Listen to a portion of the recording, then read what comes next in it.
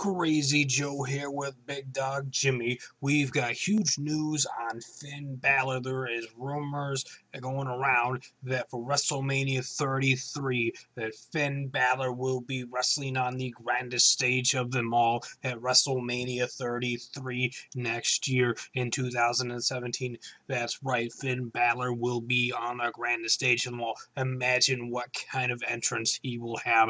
I don't know, but he has had so many spectacular um, you know, entrances that it's just mind blowing and just awesome and just just love the dude. He's awesome.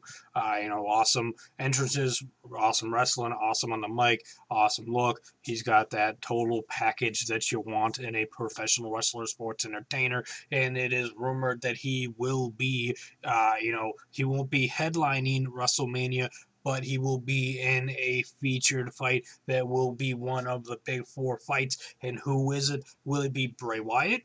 Would it be John Cena? Brock Lesnar?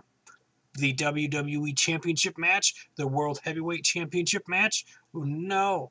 None of them. The rumor is that Finn Balor will go against the dead man, the phenom, the Undertaker. Dong, dong.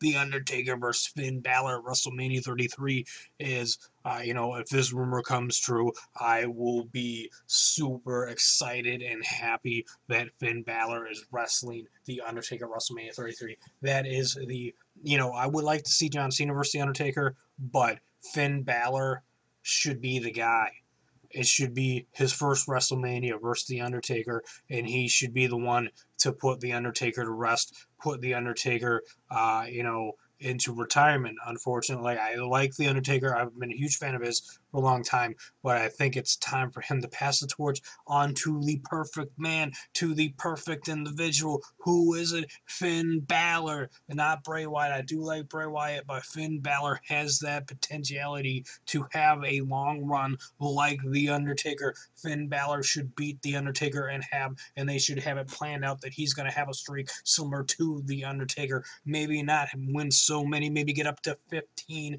and then lose at 16 or maybe win 13 but not be able to get 14. You know what I mean? Uh, to where it's like he had lucky 13 in a row, something like that. You know, so the, it would be huge the internet would love it. The internet wrestling fans would love it.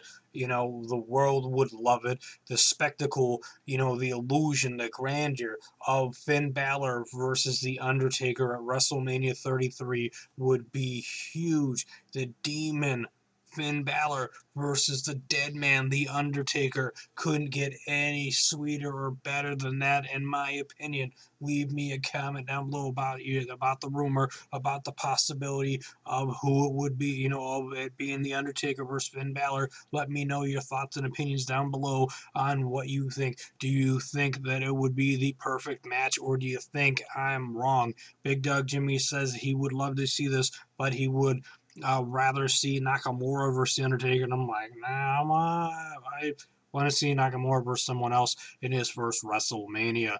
Leave me a comment, hit that subscribe button here at Crazy Joe's Galaxy if you enjoyed the video, if you enjoy rumors, reactions, reenactments, predictions, uh, and much more here at Crazy Joe's Galaxy. Thanks for watching.